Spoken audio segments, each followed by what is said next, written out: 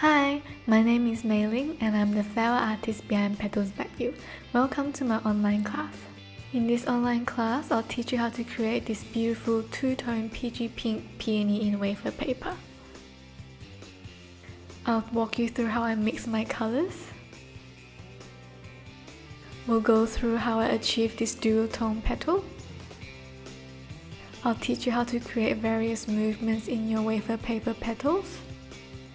I have used various camera angles and close-up shots to better your learning experience.